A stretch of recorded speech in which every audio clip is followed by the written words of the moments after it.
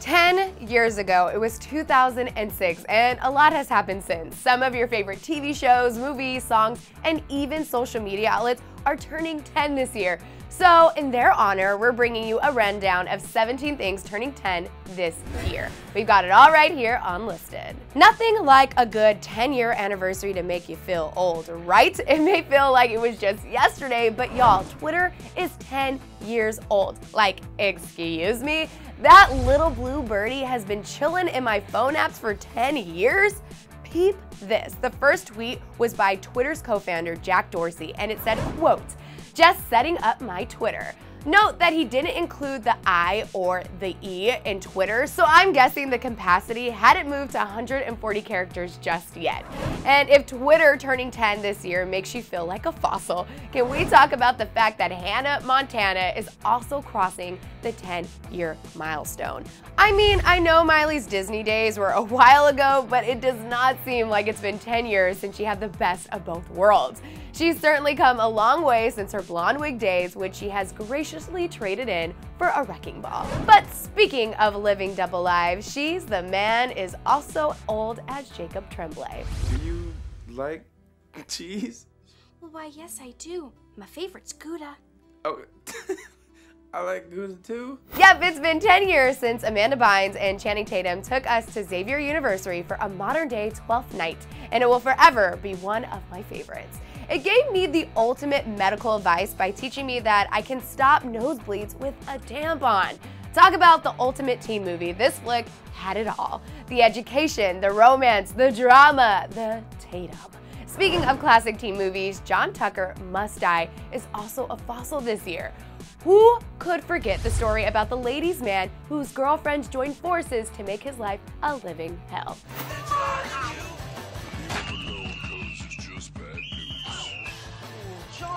What are you wearing?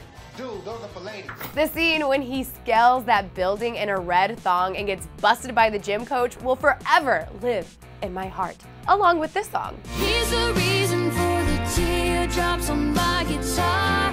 The only thing that keeps me wishing on a wishing star. It's been 10 years since Taylor Swift dropped her debut self-titled album Taylor Swift, which was the first time we met the woman who would one day become the superstar she is today. This was back when Taylor was still rocking her long wanded curls and identified as a country singer.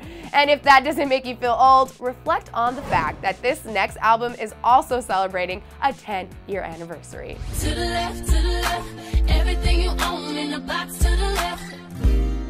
To the left, to the left. Don't you ever for a second get to thinking How is this song 10 years old?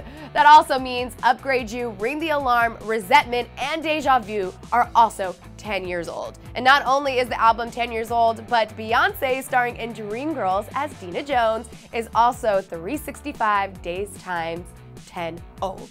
And while we're talking about music, we have to acknowledge the fact that this next baby is also celebrating an anniversary.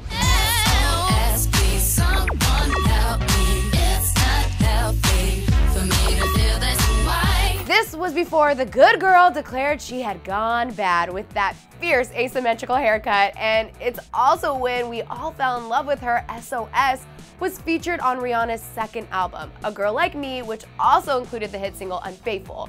Rihanna was just getting her feet wet in the industry and was quickly morphing into the superstar she is today. And while we're reminiscing about the album that provided the soundtrack to our lives, can we please talk about Fergalicious? I'm Fergalicious, so delicious. My body stay vicious. I be up in the gym, just working on my fitness. He's my witness. A Fergie Ferg was everything, and that Fergalicious video literally haunted my dreams. I watched that video so many times, I started to taste the candy. The album provided the soundtrack for a generation, and not to mention that the music videos for Fergalicious and Glamorous will forever be immortalized in my dreams. Speaking of which, this next JT hit is also celebrating its 10 year anniversary. I'm bringing sexy back. Yeah. The mother boys don't know how to act. Yeah. Guys, that song, it brings back so many memories. So good. Sexy Back was the smash hit from Justin's Future Sex Love Sounds album back when JT and Timbaland joined forces to make radio gold. And this really commenced the era of Justin. He was dropping hit after hit, including Summer Love, What Goes Around. Basically, it marked the pivotal time in my life when I decided that Justin and I, yeah, we were just going to be best friends forever. But it turns out that we never met, so, you know, maybe one day my dreams will come true. But Speaking of love and friendship, one of the biggest love stories turned franchises kicked off 10 years ago, as well as it was the first Twilight novel. Stephenie Meyers rocked all of our worlds when she introduced us to the fantasy of having a vampire boyfriend who sparkled. Edward, Cullen, and Bella Swan engulfed pop culture for solid forever thanks not only to the novels, but also in large part due to the extremely successful movie franchise. And speaking of movie franchise, remember this?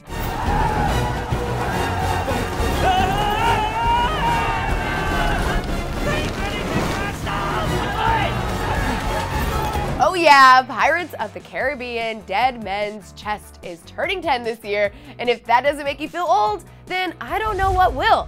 Johnny Depp as Jack Sparrow was everything, and back in the day, it seemed like those movies were coming out every year. It was just something you could look forward to as a part of your annual 365 days.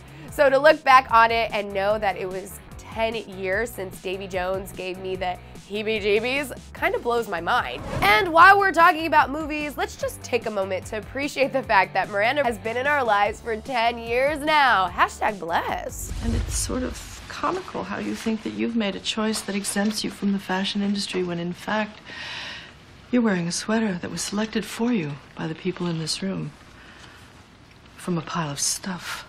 That's right, The Devil Wears Prada is also joining the Decade Club this year. This has to be one of my favorite movies of all time, people. Anne Hathaway, Emily Blunt, and Meryl Streep were the ultimate dream team. The one-liners in that movie are everything, and the clothes made me shed actual tears, yeah. So never stop putting this piece of gold on a loop cable provider. Never stop. Another show that gave me all the feels was The Hills. Do you like what I did there? Yeah, I rhymed. LC, Audrina, Whitney, and Heidi provided us with so much drama. The Hills was part of the OG reality TV family, and not only did we basically become part of their world, that theme song, it changed lives, people.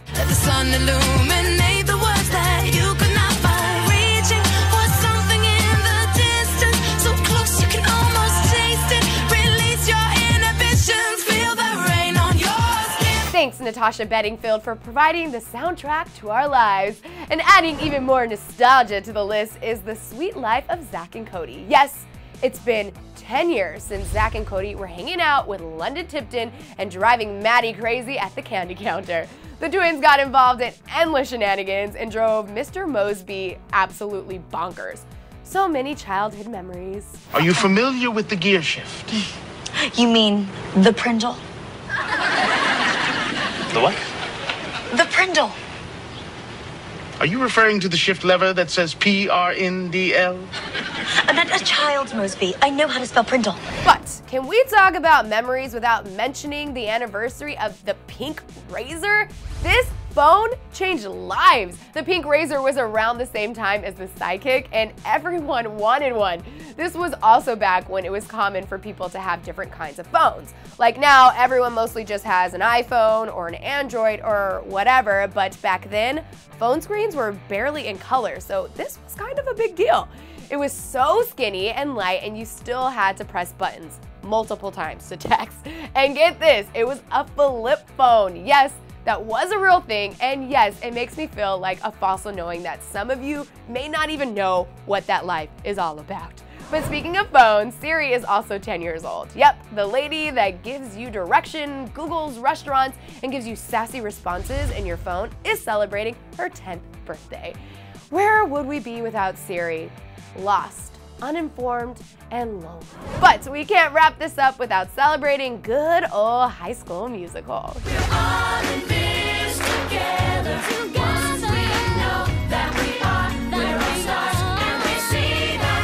It's been 10 years since our favorite Wildcats walked the halls of East High and brought out the theater kid in us all. It was also the first time we were introduced to Zac Efron, so thanks HSM for your service to the world and providing a soundtrack that I couldn't forget if I tried. Man, so many anniversaries, but so little time. So shout out to Shakira's Hips Don't Lie, Gwen Stefani's Holla Back Girl, Step Up and Click, which are all, all also celebrating their 10 year anniversaries.